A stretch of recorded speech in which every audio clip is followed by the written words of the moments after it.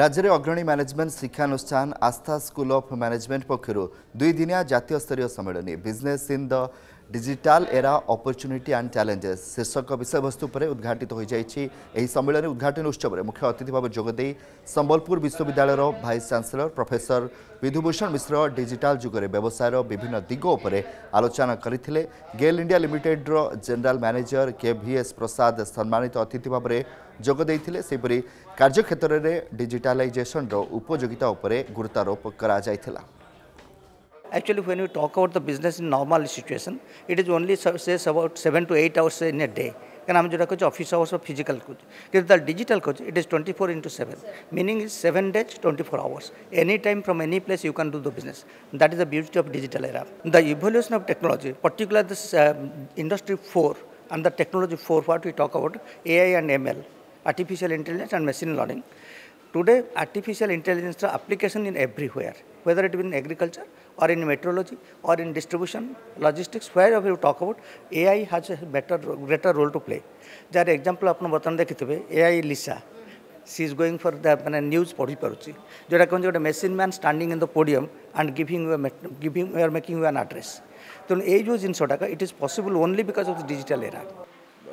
business କ୍ଷେତ୍ରରେ digitalisation ବହୁତ ଗୁରୁତ୍ୱପୂର୍ଣ୍ଣ ଏ ଷ୍ଟେଟମେଣ୍ଟକୁ ମୁଁ ଏଇଭଳି ଭାବରେ କହି ପ୍ରମାଣ କରିବା ପାଇଁ ଚେଷ୍ଟା କରିବି ଯେତେବେଳେ ପୃଥିବୀ ସାରା ପୃଥିବୀରେ ପ୍ରତ୍ୟେକ ଦିନ ବିଲିୟନ୍ସ ଅଫ୍ ପିପୁଲ୍ ସେମାନେ ଟ୍ରିଲିୟନ୍ସ ଅଫ୍ ଆୱାର ଡେଲି ବେସିସ୍ରେ ବିଭିନ୍ନ ଡିଜିଟାଲ ମିଡ଼ିଆରେ ତାଙ୍କର ସମୟକୁ ସ୍ପେଣ୍ଡ କରୁଛନ୍ତି ତାହେଲେ ବିଜନେସ୍ ହାଉସ୍ ମାନେ ସେ ଜାଗାରେ ଗୋଟେ ଅପରଚ୍ୟୁନିଟିକୁ ଦେଖିପାରିଛନ୍ତି କାହିଁକିନା ପ୍ରତ୍ୟେକ ବିଜନେସ୍ ସେମାନଙ୍କର କଷ୍ଟମର୍ମାନଙ୍କର ଇଣ୍ଟରେଷ୍ଟ ସେମାନଙ୍କର ଚଏସ୍ ସେମାନଙ୍କ ପ୍ରିଫରେନ୍ସ ଉପରେ ନିର୍ଭର କରେ ଆମେ ମାଇଥୋଲୋଜିରେ ପଢ଼ିଥିଲୁ ନାରଦ ନିଜକୁ ନାରାୟଣ ନାରାୟଣ କହୁଥିଲେ ଉଭାନ ହୋଇଯାଉଥିଲେ ଯେଉଁଭଳି ଭାବରେ internet of things I O T କିମ୍ବା ଆର୍ଟିଫିସିଆଲ ଇଣ୍ଟେଲିଜେନ୍ସର ମାନେ ମାନେ ସେଥିରେ ଡେଭଲପମେଣ୍ଟ ଚାଲିଛି ହୁଏତ ମୁଁ ବି କହିବି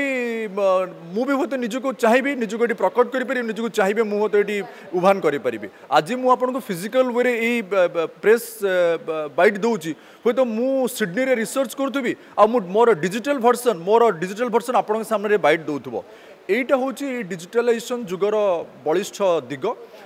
ବଳିଷ୍ଠ ଉଦାହରଣ ଆହାରି ଉପରେ ବିଶେଷ ଚର୍ଚ୍ଚା କରିବା ପାଇଁ ଆମେ ଏଇ ଟୁ ଡେ ନ୍ୟାସନାଲ୍ ସେମିନାରକୁ ଅର୍ଗାନାଇଜ୍ କରିଛୁ ଯାହାର ଥିମ୍ ହେଉଛି business in digital era opportunity challenges ଯଦି ଆପଣଙ୍କୁ ଆମ ଭିଡ଼ିଓଟି ଭଲ ଲାଗିଲା ତେବେ ଆମ ଚ୍ୟାନେଲକୁ ଲାଇକ୍ ସେୟାର ଓ ସବସ୍କ୍ରାଇବ୍ କରିବାକୁ ଜମା ବି ଭୁଲନ୍ତୁ ନାହିଁ